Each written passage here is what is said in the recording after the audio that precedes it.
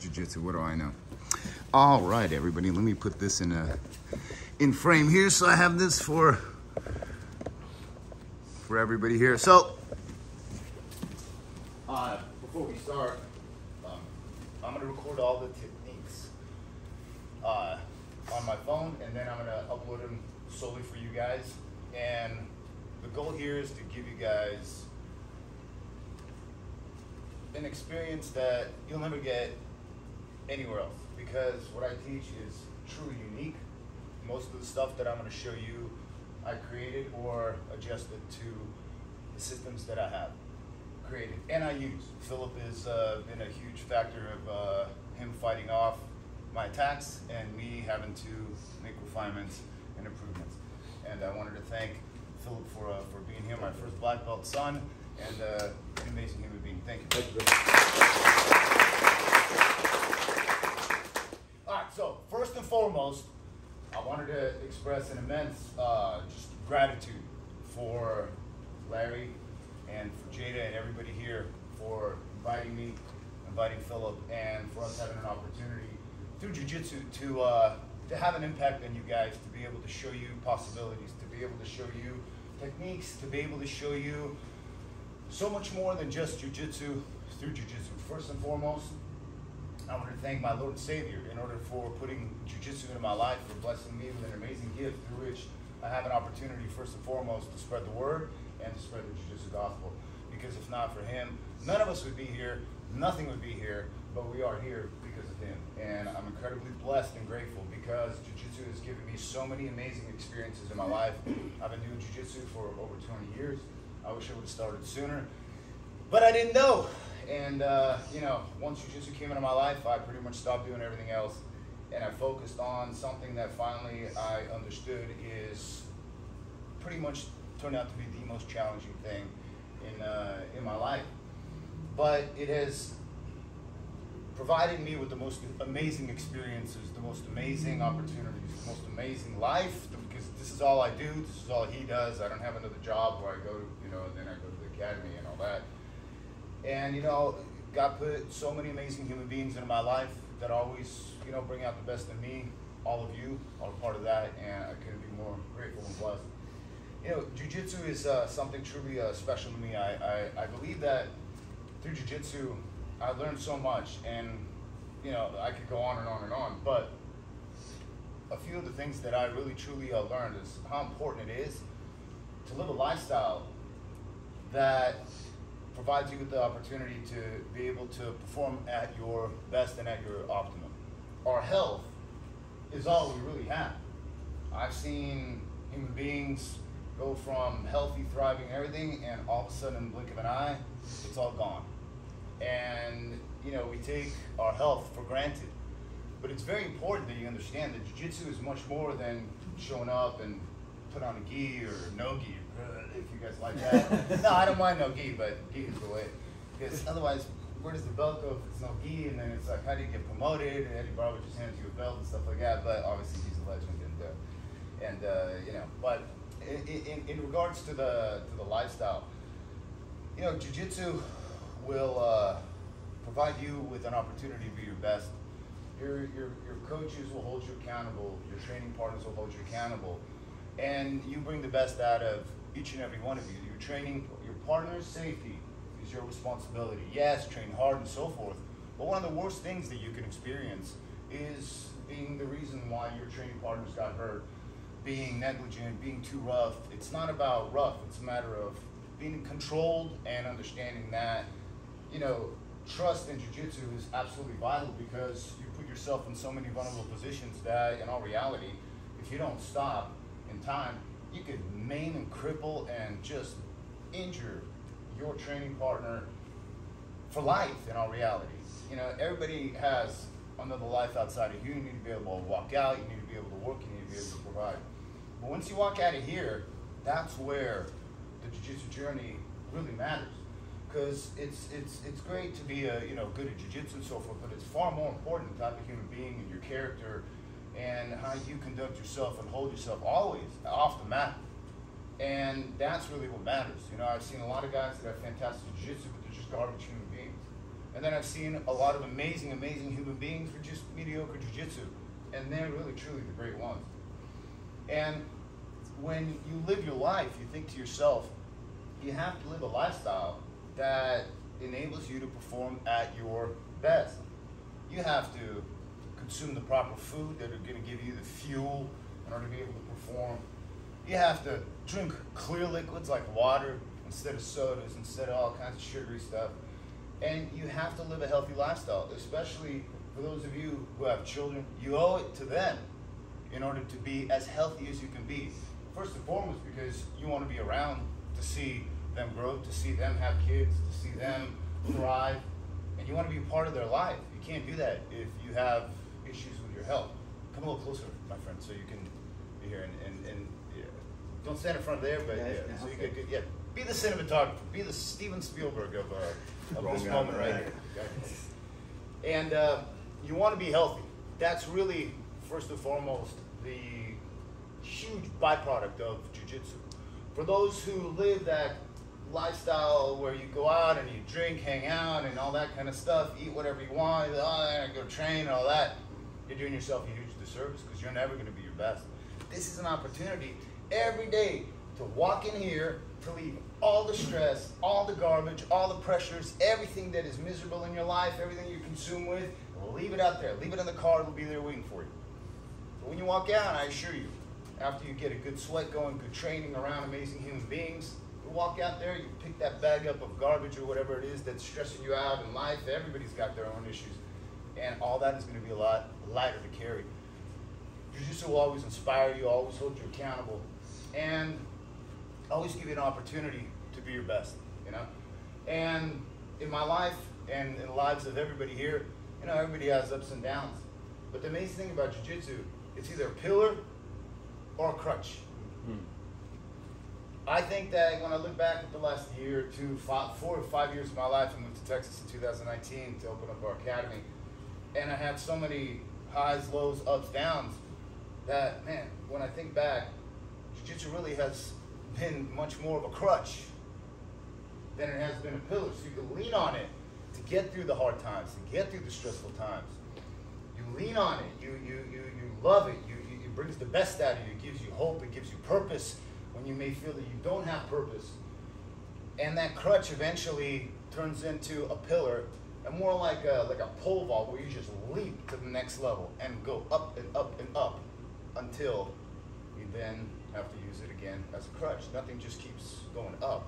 Everything has high highs and lows, high and lows. The goal is in the trajectory of life to just make sure you have higher highs and higher lows. So you're always in an uptrend, like a good uh, cryptocurrency, such as uh, Bitcoin, which is I guess up at, uh, at a time. I uh, didn't get in on it when it was two hundred dollars, and uh, got out of it when it was uh, you know low. But that's a whole different story. the point is, higher highs, higher lows. Jiu-Jitsu is a pillar or a crutch. Most of the time for me, it's been a crutch, and I couldn't be more grateful to have that opportunity to lean on Jiu-Jitsu. To give my daughters, I have two daughters, to give them an opportunity to see their dad living a life of purpose, living a life where he can enrich and inspire and, and impact everybody around me in the, in the most positive ways. And I tell my daughters, I said, you know, to you, because you know, they, I have a 13 year old, she's almost 14, and a 9 year old, she's almost 10. She's gonna be 10 tomorrow. And, you know, they joke around with me, you know, make fun of me and all that. And I'm, you know, very easy going with my girls. But I tell them, listen, there's a lot of people out there. To you, I'm just dad. But there's a lot of people that look at me as Professor Greg, somebody who's a big deal in their life, somebody who shows them a lot of new things and all that. So someday, you're gonna learn who your dad really is. And my younger one, she was like, think six or seven at. She goes, "Oh, so you're not a real dad?" no, I am, but you know, and then they start laughing, keep making fun. The point is, is that healthy lifestyle, continue to move forward, and remember that at some point you have the higher belts here, you have the not the lower belts, the, less higher belts, the minor not less higher belts towards the back. But eventually, everybody I was back there at one point. And when I saw my professor, I trained under Royce and Master Jean-Jacques and, and Master Carlos, and, and, and literally I learned from like icons, and legends of Jiu jiu-jitsu. My, my jiu-jitsu journey has been incredible, unlike anybody else's. And I was always inspired to be in a position where it's not that I wanted to be up front, it's not, I wanted to have an opportunity to have the impact on them that they, I mean, an impact on others that they were having on me. And they didn't even know it. And I really used that as a source of uh, motivation for me to eventually get up to this point. Remember, a white belt, okay, a black belt is just a white belt who never quit. Most important thing is show up. That's it. Don't think about, oh, I'm looking for my next stride looking for my next belt. Oh, I want to get the black belt. No, no, no, no, no. The journey is the destination. And you guys need to enjoy the journey, not the next belt. Those are all just acknowledgments of your progress and of your movement forward and so forth. But enjoy the moment of now. You know, nothing is real except this moment right here. The past is gone, it's never coming back. Sure, we learn from it. Great. The future's not even here. All that is a figment of our imagination. The only thing is real is this moment. And God put us here together for a reason. Keep your training partners safe. Use jiu-jitsu as a pillar or crutch. Show up. Be around good people. Help each other out. Jiu-jitsu is an amazing source of giving. Don't chase belts. Be in the moment. Help inspire each other, especially those who are just starting. They need help get that momentum going. Help them fall in love with jujitsu. You see a technique, you do a technique, you teach a technique. Help each other. You'll learn a lot more. But big advice is show up, don't chase belts. Although belts are very important. Because remember, when you actually achieve black belt, and I guarantee you that every one of you will achieve the level of black belt if you just don't quit. It's guaranteed, without any question and you're going to be able to have a massive impact on everybody around you. And I wanted to thank Larry for giving me an opportunity to be standing here and uh, just sharing this with you. It's all coming off the top of my head, and I didn't put a script on our speech. He's an amazing human being, amazing father, amazing husband, amazing leader. And you guys truly, I think, may not even understand what kind of a precious human being you have as the one who coaches you it's not a matter that he's wearing a purple belt. He could be wearing any belt, but it's the type of man, it's the type of leader, and it's the type of human being that you really are. Your character, your ability to be able to bring the best out of everybody. It's not about the black belt. It's just about being the best human being you could be and being the type of human being that God wants you to be. But I think at this moment, God wants you to be a brown belt. Hey!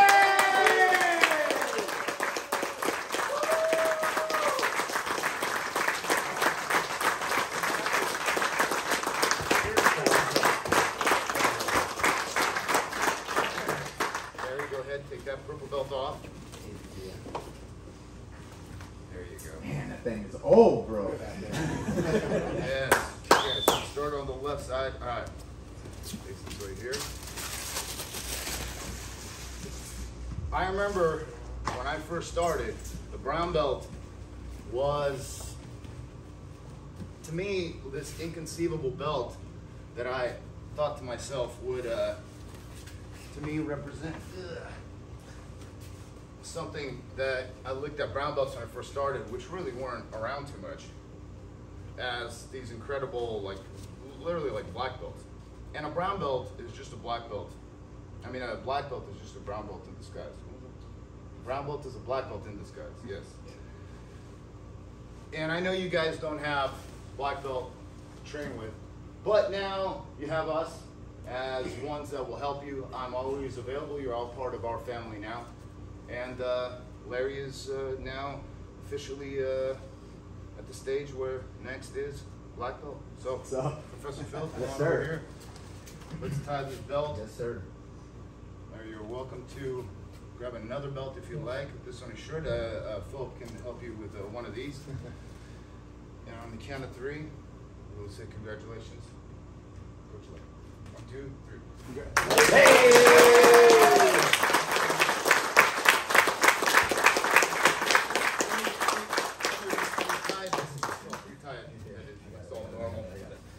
I can tie the belt from this angle, but when I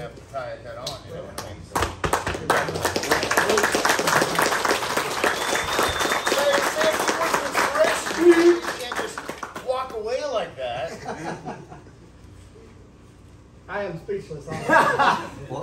Guys, I, yes, I am speechless, believe it or not, Daniel. He didn't, he didn't know. No, I didn't know. I, I had honestly asked not to be promoted. Um, He did. You did. I, I, I like this belt. This belt's special to me because this is the belt that really formed my journey in jiu-jitsu. And um, this one is going to be hard to let go of. Um, I didn't. This is a new journey for me.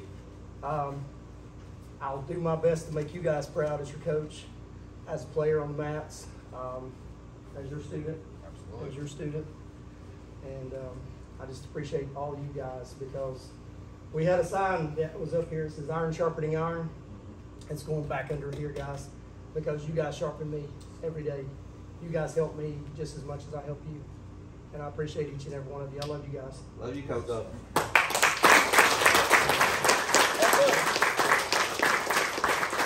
Don't let go of the belt. Hold on to the belt. Hold on to all your belts. Yep. Get a rack. Get even if you get different belts, retire the belts. Always hold on to the belts. They become a lot more precious as more time goes by in your journey. As long as you don't quit, because then those belts will be a reminder that you're a quitter, and there's nothing worse than that. Nobody, not one human being that I know that used to do jujitsu that stopped doing jujitsu is better off today 100. than they were before. Just as we were better off four years ago than we are today. Anyways, having said that, I won't go into that. But congratulations.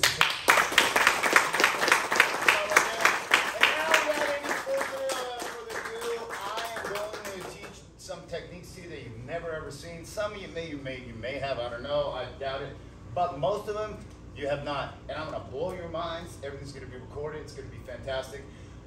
And now we're to bow in. We're to breathe. So always breathe in out through the mouth, in through the nose, out through the mouth.